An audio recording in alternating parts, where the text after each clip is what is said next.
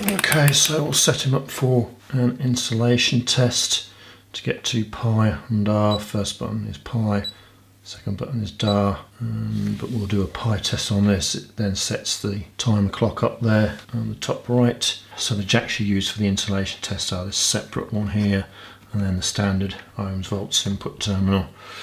Um, this doesn't lock on even though I've selected pi and dar. Um, let's put the light on so we can see. So you can see we're set to pi, 10 minutes, 250 volts. Um, so to get it to lock on I'll have to hit the lock button, press the test button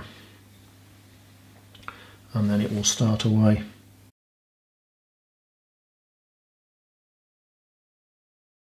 So we'll leave that to go through to the 10 minutes and you'll see what the result it gives because that is quite interesting. So we'll let him run, it's come up to one minute now.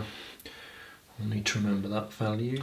Okay, we're coming up to the end of the pi test.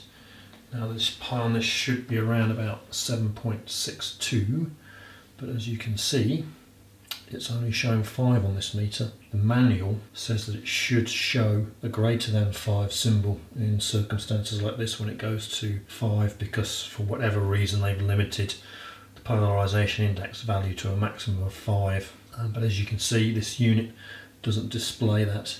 Uh, we'll go back through the 1 minute and the 10 minute values in post edit and you'll see that the actual ratio would be much greater than 5 but there seems to be a limitation and what you also find as well with this instrument now that I've done pi dar I can't get back to any of the other test values a lot of meters will let you page back through the 1 minute and the 10 minute uh, insulation readings and then the actual index value. But this meter uh, doesn't let you do that.